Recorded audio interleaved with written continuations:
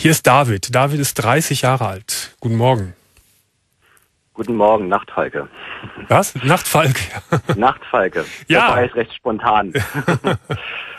David. Aber nett gemeint. Ja, das weiß ich. David, du bist Ja, 30. also, Weswegen rufst du Ich, ich rufe eigentlich wegen dem ursprünglichen Thema an. Ich lebe in großer Gefahr. an? Können wir auch sehr gerne drüber reden, ja, wenn du Gut, möchtest. okay. Also ich bin Scientology-Aussteiger. Ah, Ja. das ist ja spannend. Wie lange warst du dabei? Ich war zehn Jahre dabei. Das ist eine sehr lange Zeit. Du bist mit 20. elf.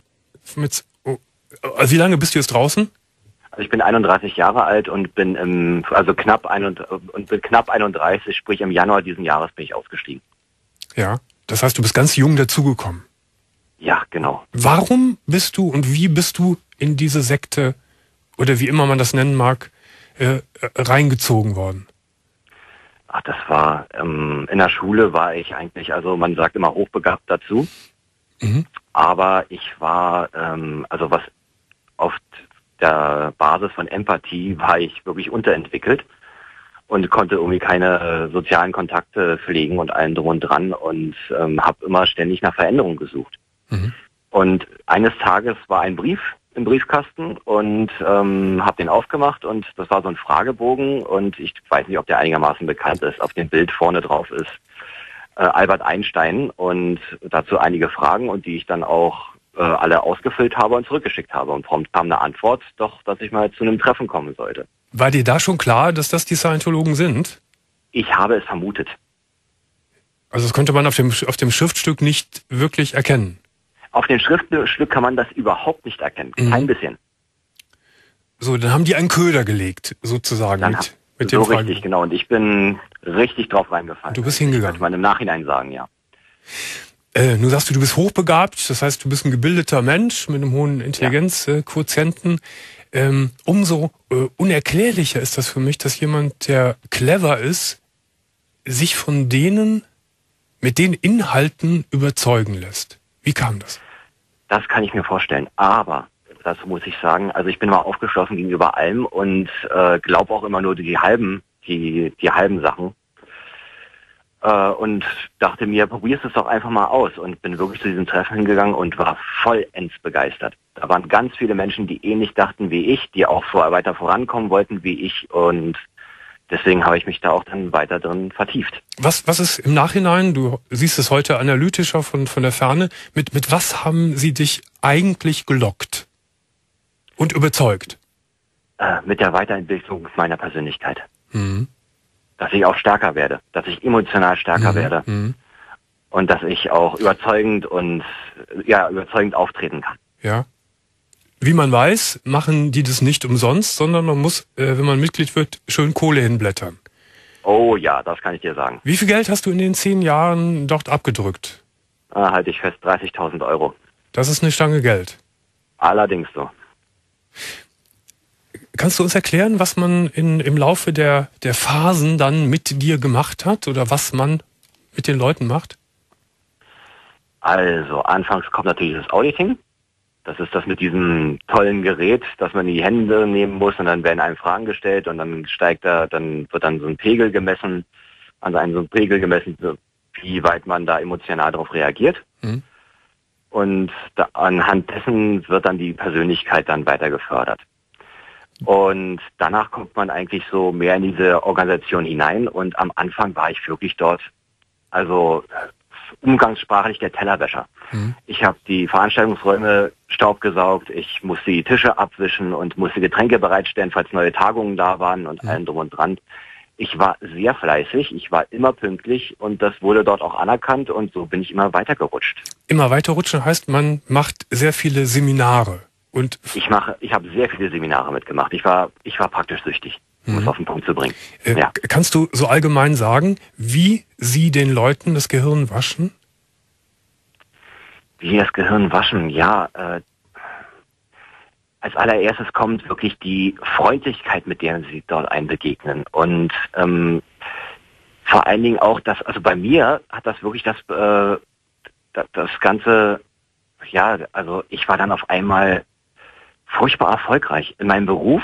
War ich erfolgreich. Mhm. Ich war erfolgreich, was äh, im Freundeskreis. Ich war sozial auf einmal anerkannt und alle haben mich geachtet für meine Ratschläge, die ich so hatte. Und also ich mhm. war wirklich beliebt auf einmal und was vorher überhaupt nicht der Fall war. Wir merken schon, es ist immer schwierig, über Scientology zu sprechen, äh, weil das ist nicht so einfach und äh, so schlicht zu greifen wie zum Beispiel die Zeugen Jehovas. Da kann man ein paar äh, Schlagworte sagen, man weiß genau, äh, was da los ist.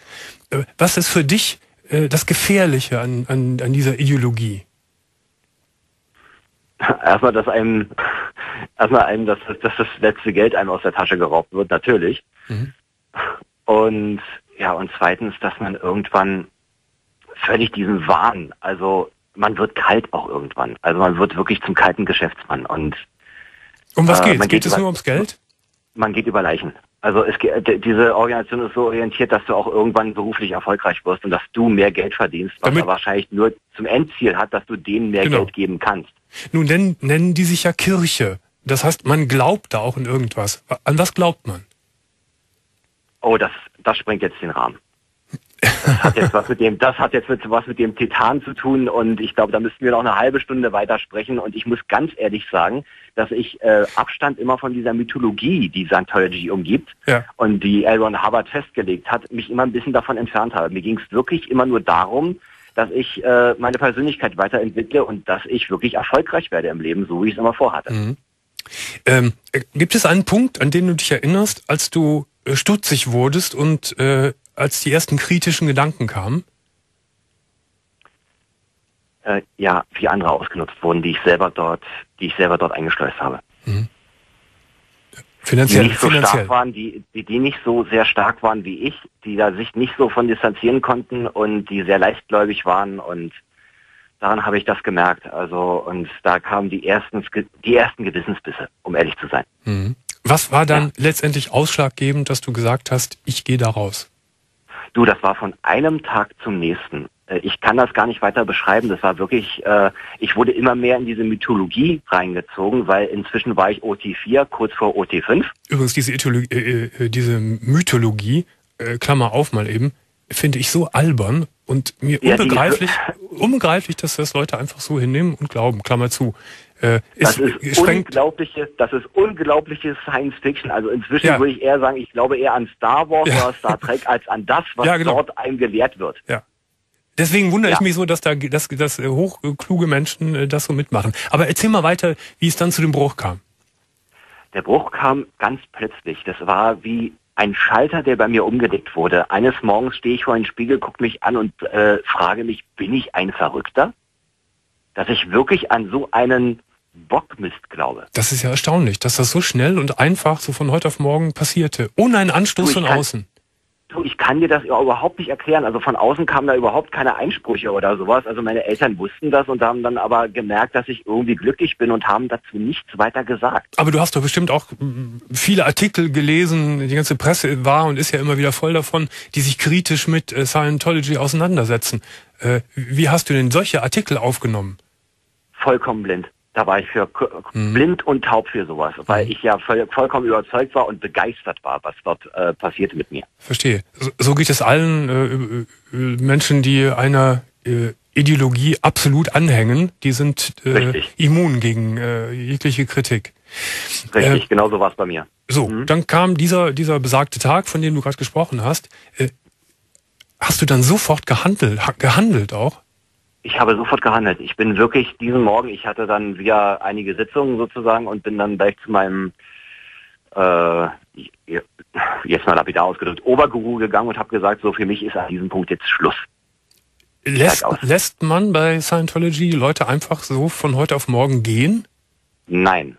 Das habe ich mir gedacht. Wie, wie ging es dann weiter bei dir?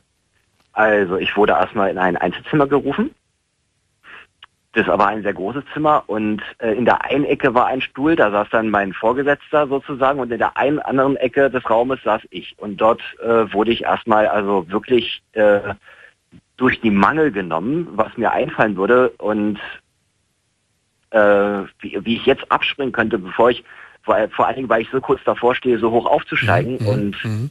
ähm, es würde nicht mehr lange dauern und ich wäre clear. Dieser letzte, dieser letzte Zustand, sozusagen, den man dort bekommt, Hartz IV. Mhm. Und ich habe dann gesagt, und weil ich wirklich eingeschüchtert war, habe ich dann gesagt, äh, dass das auch meinen finanziellen Rahmen sprengen würde, diese nächsten Seminare, um Clear zu werden. Und dann wurde mir noch nahegelegt, dass ich doch meine Familie anpumpen könnte oder meine Freunde oder Bekannte mhm. etc. pp. Und da habe ich gesagt, das kommt für mich überhaupt nicht in Frage, weil ich habe mich dafür alleine entschieden und dafür werden nicht andere blechen müssen. Wie lange hat der Loslösungsprozess dann gedauert? Der dauert immer noch an. Wirst du von denen bedroht? Ja. Ja. Immens. Ja. Was machen die? Also anfangs war, also kurz darauf, ich muss dazu sagen, meine Facebook-Freunde haben mich, haben sich sofort um die Hälfte reduziert, wenn nicht sogar mehr, mhm. weil die meisten, die ich natürlich hatte, waren auch Mitglieder, Mitglieder der Organisation, sprich ehemalige Kumpanen. Mhm. Ähm, damals hat es angefangen, dann hat es mit Handyanrufen angefangen. Zuerst wurde aufgelegt, dann wurde unheimliche Musik gespielt, in denen äh, die Texte dementsprechend waren. Also wir wissen, wo du wohnst und mhm. wir wissen, wir werden dich bekommen. Psychoterror. Psychoterror, dann wurde nachts bei einer Tür geklingelt. Also man könnte jetzt wirklich sagen, äh, Kinderquatsch, Klingelstreiche, aber ich bin natürlich zur Tür gegangen, keiner war da. Hast du Angst, dass die dich auch tätlich angreifen? Äh, das hatte ich bisher noch, bisher noch nicht. Bis letzten Freitag hatte ich das noch nicht. Ist letzten Freitag etwas passiert? Letzten Freitag ist etwas Gravierendes passiert. Nämlich? Äh, ich saß in meiner Lieblingsbar, ganz allein. Mhm. Und gegenüber von mir saß eine sehr attraktive junge Dame. Mhm. Und es hat nicht lange gedauert, dann saß sie irgendwann neben mir und wir hatten ein sehr, sehr nettes Gespräch und irgendwann äh, verfiel es auch in sehr, sehr heißer Flirterei, möchte ich dazu sagen. Und ich habe mir schon langsam ausgemalt, wie der Abend wohl enden könnte. Mhm. Und mittendrin, mittendrin sagte sie ganz plötzlich, warum bist du ausgestiegen? Ah. Hat, ich hatte ihr nichts davon erzählt, dass ich ehemaliger Scientologe bin. Also gehörte sie dazu? Die wurde, diese, diese Frau wurde regelrecht, regelrecht auf mich angesetzt, Domian. Mhm. Gut, aber sie hat ja keine, keine tätliche Gewalt angetan. Doch, also Doch. Nicht, äh, mir nicht, mir persönlich nicht, aber mir wurde nahegelegt, wir wissen ganz genau, wo du dich aufhältst, zu jeder Tages- und Nachtzeit und wir werden uns was einfallen lassen, wenn du nicht zurückkommst. Wie lebst du mit dieser Bedrohung? Also momentan Momentan also eher schwierig. Also äh, jeden Abend, wenn ich hier sitze, trinke ich äh, ein bis zwei Flaschen Rotwein und beruhige mich mit Diazepam. Hm. Weil da kamen auch noch andere, da kamen auch noch andere Sachen dazu. Mein Name, also ich wurde angebiet, ange, angeboten auf einem Sklavenmarkt online. Hm. Von denen. Äh, von denen, mhm. eindeutig von denen. Von wem und sonst, dachte ich mir dann auch. Ich habe Freunde, die würden so etwas nie machen und es war online so ein Sklavenhandel. Ich weiß nicht, ob dir sowas sagt. Das ist in der SM-Szene ganz bekannt. Ein Sklavenhandel. Das heißt ein Sklavenhandel. Und dann kann man da praktisch für einige, äh, einiges an Geld kann man diesen Sklaven kaufen und mit denen den übelsten Sachen anrichten, die man mhm. überhaupt dort angeboten bekommt. Und ich habe dementsprechend auch sehr, sehr eindeutige, eindeutige E-Mails bekommen. Ich möchte da nicht ins Detail gehen. Nee, nee ich verstehe. Ja.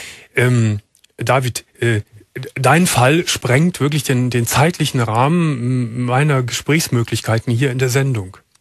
Das äh, dachte ich mir. Wir schon. haben ja gerade schon gemerkt, äh, da waren so viele äh, Details, die wir eigentlich hätten noch weiterführen müssen.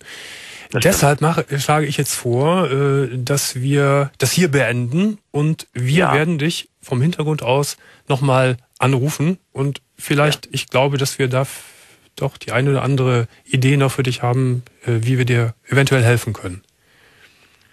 Auf jeden Fall, äh, danke für dein Vertrauen. Okay.